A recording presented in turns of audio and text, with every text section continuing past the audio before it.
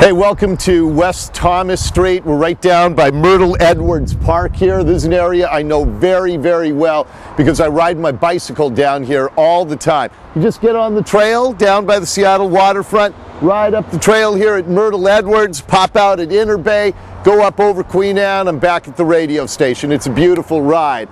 But right now, the city of Seattle is about to begin construction on an overpass that's going to get people from Elliott Avenue West over the railroad tracks to the trail. The cost of this to you, the taxpayer, $10 million.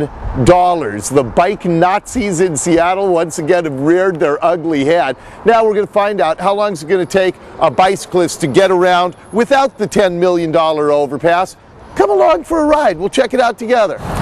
All right, so I can ride my bike at about 15 to 20 miles an hour. So I'm to go that speed and we'll see how long it's going to take me to get on the other side of those railroad tracks without the $10 million overpass that they're putting in. Okay, I'm about 22 miles an hour. I don't want to exaggerate it here. We'll see uh, what kind of time I'm saving for 10 million taxpayer dollars here. Besides, this is a beautiful ride. I come down this street all the time on my bike. There's Elliott Avenue. It hooks up with the Seattle waterfront down here.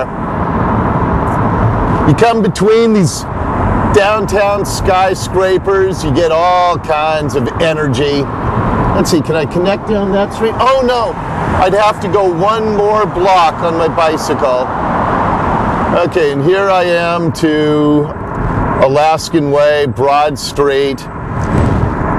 This is how far I would have had to have paddled without the $10 million overpass. Steph, how much time did that overpass save me? Saved you about 60 seconds. 60 seconds. And if you turn the camera out here, Steph, you'll see we're right there on the trail so for 60 seconds, for bicyclists who are too lazy to ride another 60 seconds, that's going to cost the taxpayers $10 million. No wonder we're getting so fat as a nation. Your tax dollars at work.